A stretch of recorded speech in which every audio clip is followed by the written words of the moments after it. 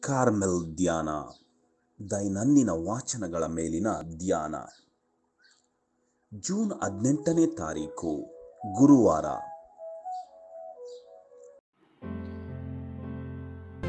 ಇಂದಿನ ಶುಭ ಸಂದೇಶ, ಸಂತ ಮತ್ತಾಯನು ಬರೆದ ಶುಭ ಸಂದೇಶ, ಅಧ್ಯಾಯ ಆರು, ವಾಕ್ಯಗಳು ಏಳರಿಂದ ಹದಿನೈದು.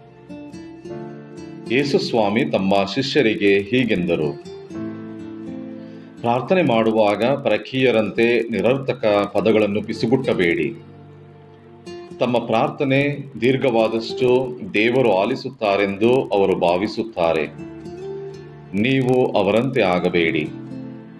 ನಿಮ್ಮ ಅಗತ್ಯಗಳೇನೆಂದು ನೀವು ಕೇಳುವುದಕ್ಕೆ ಮೊದಲೇ ನಿಮ್ಮ ತಂದೆಗೆ ಗೊತ್ತಿದೆ. ಆದುದರಿಂದ ಹೀಗೆಂದು ಪ್ರಾರ್ಥನೆ ಮಾಡಿ. ಸ್ವರ್ಗದಲ್ಲಿರುವ ಓ ನಮ್ಮ ತಂದೆಯೇ, ನಿಮ್ಮ ಪವಿತ್ರ ನಾಮ ಪೂಜಿತವಾಗಲಿ. ನಿಮ್ಮ ಸಾಮ್ರಾಜ್ಯ ಬರಲಿ. ನಿಮ್ಮ ಚಿತ್ತ ಸ್ವರ್ಗದಲ್ಲಿ ನೆರವೇರುವ ಪ್ರಕಾರ ಜಗತ್ತಿನಲ್ಲಿಯೂ ನೆರವೇರಲಿ. ನಮ್ಮ ಅನುದಿನದ ಆಹಾರವನ್ನು ನಮಗಿಂದು ಕೊಡಿ. ನಮಗೆ ತಪ್ಪು ಮಾಡಿದವರನ್ನು ನಾವು ಕ್ಷಮಿಸುವ ಪ್ರಕಾರ ನಾವು ಮಾಡಿದ ತಪ್ಪುಗಳನ್ನು ಕ್ಷಮಿಸಿ. ನಮ್ಮನ್ನು ಶೋಧನೆಗೆ ಒಳಪಡಿಸಬೇಡಿ. ಕೇಡಿನಿಂದ ನಮ್ಮನ್ನು ರಕ್ಷಿಸಿರಿ. ಜನರ ತಪ್ಪುಗಳನ್ನು ನೀವು ಕ್ಷಮಿಸಿದರೆ ಸ್ವರ್ಗದಲ್ಲಿರುವ ನಿಮ್ಮ ತಂದೆ ನಿಮ್ಮನ್ನು ಕ್ಷಮಿಸುವರು. ಜನರನ್ನು ನೀವು ಕ್ಷಮಿಸದಿದ್ದರೆ ನಿಮ್ಮ ತಂದೆಯೂ ಸಹ ನಿಮ್ಮ ತಪ್ಪುಗಳನ್ನು ಕ್ಷಮಿಸರು. ಪ್ರಭು ಕ್ರಿಸ್ತರ ಶುಭ ಸಂದೇಶ. ಕ್ರಿಸ್ತರೇ, ನಿಮಗೆ ಸ್ತುತಿಯಾಗಲಿ.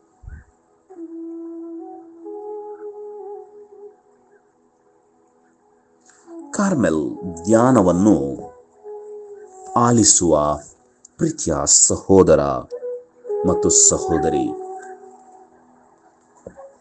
ಪ್ರಾರ್ಥನೆ ಎಂದರೆ ಏನು? ಪ್ರಾರ್ಥನೆ ಎಂದರೆ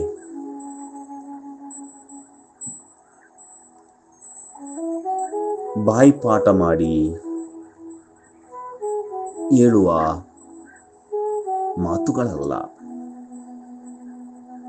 ಯಾರೋ ಬರೆದು ಕೊಟ್ಟ ಪುಸ್ತಕದ ಬದನೆಕಾಯಿಯೂ ಅಲ್ಲ. ಕಾಟಾಚಾರಕ್ಕಾಗಿ, ಆಚಾರ ವಿಚಾರಕ್ಕಾಗಿ ಮಾಡುವ ನೀತಿ ನಿಯಮಗಳೂ ಅಲ್ಲ. ಯಾರೊಬ್ಬರನ್ನು ಮೆಚ್ಚಿಸುವ ಕಾರ್ಯವೂ ಅಲ್ಲ. ಅದು ಗೋಳಾಟವೂ ಅಲ್ಲ. ಹೊಗಳುವ, ಹೊಗಳು ಬಟ್ಟನೂ ಅಲ್ಲ. ಅಥವಾ ಗೊಣಗಾಡುವ ಮಾತುಗಳೂ ಅಲ್ಲ. ಪ್ರಾರ್ಥನೆ ಎಂಬುದು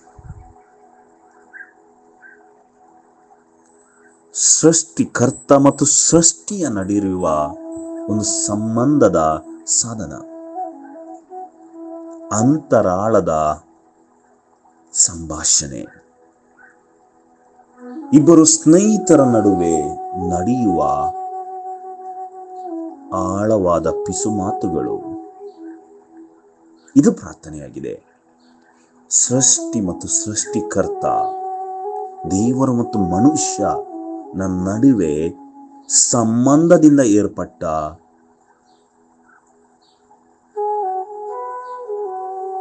ಒಂದು ಸಂಬಂಧ. ಅದಕ್ಕಾಗಿ ಪ್ರಾರ್ಥನೆಯಲ್ಲಿ ಸಂಬಂಧ ಎಂಬುದು ಬಹಳ ಮುಖ್ಯ.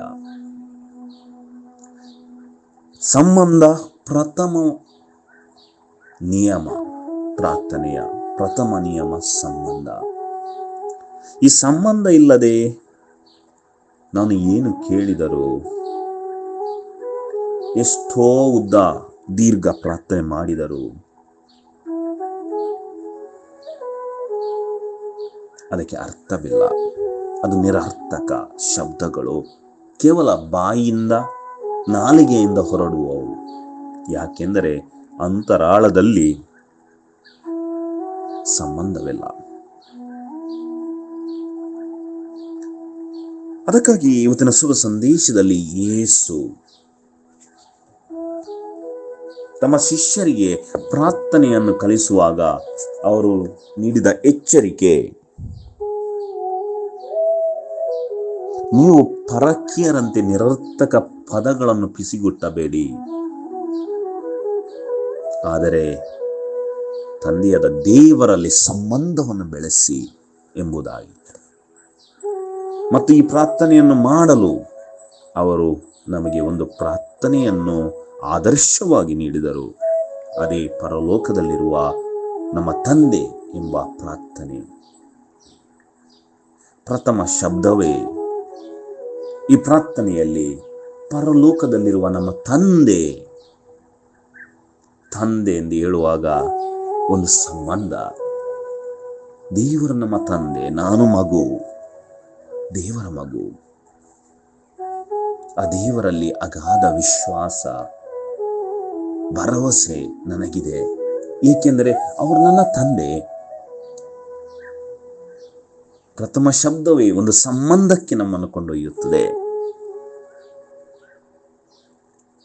ಯಾವಾಗ ಈ ಸಂಬಂಧದಲ್ಲಿ ನಾವು ನೆಲೆಗೊಳ್ಳುತ್ತೇವೋ, ಆಗ ನಾವು ಆಡುವ ಪ್ರತಿಯೊಂದು ಮಾತಿಗೂ ಅರ್ಥ ಇದೆ.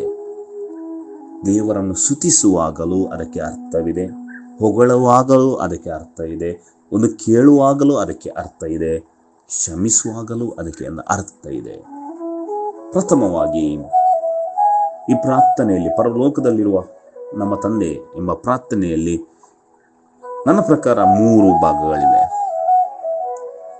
ಪ್ರಥಮದಾಗಿ ದೇವರನ್ನು ಸುತಿಸುವುದು ದೇವರನ್ನು ಕೊಂಡಾಡುವುದು, ಏಕೆಂದರೆ ಅವರು ನಮ್ಮ ಸೃಷ್ಟಿಕರ್ತ, ಒಂದು ಸೃಷ್ಟಿ ತನ್ನ ಸೃಷ್ಟಿಕರ್ತನಿಗೆ ಹೊಗಳುವುದರಲ್ಲಿ ಯಾವುದೇ ಸಂದೇಹವಿಲ್ಲ. ಪ್ರತಿಯೊಂದು ನಾನು ಏನಾಗಿದ್ದೇನೆ, ದೇವರ ಕೊಡುಗೆ ಅದಕ್ಕಾಗಿ ಪರಲೋಕದಲ್ಲಿರುವ ನಮ್ಮ ತಂದೆ ನಿಮಗೆ ಸ್ತೋತ್ರವಾಗಲಿ, ನಿಮಗೆ ಸ್ತುತಿಯಾಗಲಿ, ನಿಮ್ಮ ರಾಜ್ಯ ಬರಲಿ ಎಂಬುದಾಗಿ ನಾವು ಹೊಗಳುತ್ತೇವೆ. ಎರಡನೇದಾಗಿ, ಒಂದು ಮಗುವಾಗಿ ತಂದೆಯಲ್ಲಿ ನನ್ನ ಬೇಡಿಕೆಗಳನ್ನು ಇಡುತ್ತೇನೆ. ತಂದೆಗೆ ಆ ಬೇಡಿಕೆಗಳು ಏನೆಂದು ತಿಳಿದಿವೆ ಎಂಬುದಾಗಿ ಇವತ್ತಿನ ಶುಭ ಸಂದೇಶ ಹೇಳುತ್ತದೆ. ಅನುದಿನದ ಆಹಾರವನ್ನು ನಮಗೆ ಕೊಡು. ಜಾಸ್ತಿ ಬೇರೆ ಏನೂ ಬೇಕಾಗಿಲ್ಲ. ಅನುದಿನದ ಸಾಮಾನ್ಯ ಜೀವನವನ್ನು ನಡೆಸಲು ತೃಪ್ತಿಕರ ಜೀವನವನ್ನು ನಡೆಸಲು ಏನು ಅಗತ್ಯವಿದೆ, ಅದನ್ನು ನೀನು ದಯಪಾಲಿಸು. ಮೂರನೇದಾಗಿ, ಬಹಳ ಮುಖ್ಯವಾದ ಅಂಶ ಈ ಪ್ರಾರ್ಥನೆಯಲ್ಲಿ, ಕ್ಷಮಾಪಣೆ. ಹೀಗೆ ನಾವು ಇತರರನ್ನು ಕ್ಷಮಿಸುತ್ತೇವೆ ಹಾಗೆ ನಮ್ಮನ್ನು ಕ್ಷಮಿಸು. ಅದು ಕೂಡ ಸಂಬಂಧವನ್ನೇ ಸೂಚಿಸುತ್ತದೆ. ಮನುಷ್ಯ ಮತ್ತು ಮನುಷ್ಯರ ನಡುವಿನ ಸಂಬಂಧ. ಹೇಗೆ ಮನುಷ್ಯರ ಮತ್ತು ಮನುಷ್ಯನ ನಡುವಿನ ಸಂಬಂಧ ಬೆಳೆಯುತ್ತದೋ, ಆಗ ಮನುಷ್ಯನ ಮತ್ತು ದೇವರ ಸಂಬಂಧವೂ ಬೆಳೆಯುತ್ತದೆ. ನಾನು ಹೇಳಿದೆ ಪ್ರಾರ್ಥನೆ ಎಂಬುದು ಒಂದು ಸಂಬಂಧ, ಈ ಪ್ರಾರ್ಥನೆ ಕೂಡ ಪರಲೋಕದಲ್ಲಿರುವ ಪ್ರಾರ್ಥನೆಯು ನಮಗೆ ತಿಳಿಸುವುದು ಸಂಬಂಧವೇ. ಕ್ಷಮಿಸಲು ನನಗೆ ಶಕ್ತಿಯನ್ನು ನೀಡು. ಅನೇಕ ಬಾರಿ ಮನುಷ್ಯನಾಗಿ ಅನೇಕ ಆಲೋಚನೆಗಳು, ಕೋಪ, ದ್ವೇಷ ಶ್ರಮಿಸಲಾಗದ ನೋವುಗಳು ನಮ್ಮಲ್ಲಿವೆ. ಅವನ್ನೆಲ್ಲ ಶ್ರಮಿಸಲು ನನಗೆ ಶಕ್ತಿ ನೀಡು ಎಂಬುದಾಗಿ ಈ ಪ್ರಾರ್ಥನೆಯ ಸಾರ. ಪ್ರಿಯರೇ, ಕಾರ್ಮೆಲ್ ಧ್ಯಾನ ದೈನಂದಿನ ವಾಚನಗಳ ಮೇಲಿನ ಧ್ಯಾನ. ಈ ಕಾರ್ಯಕ್ರಮ ಕಾರ್ಮೆಲ್ ಯಾಜಕರ ಕೊಡುಗೆಯಾಗಿದೆ. ಇಂದಿನ ಈ ಧ್ಯಾನವನ್ನು ನಿಮಗೆ ನೀಡಿದ್ದಾರೆ ಒಂದನೇ ಸ್ವಾಮಿ ವಿಜಯ್ ಡಿಕಾಸ್ಟಾ ದೇವರು ನಿಮ್ಮನ್ನು ಸದಾ ಹರಸಲಿ. ಧನ್ಯವಾದಗಳು.